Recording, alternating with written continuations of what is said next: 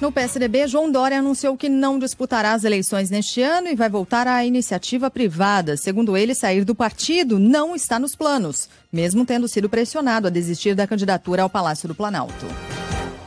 Não vou sair do Brasil, não vou mudar do Brasil, voltando para o setor privado de onde vim. Continuo no PSDB, não me desfiliei e não vou me desfiliar do PSDB.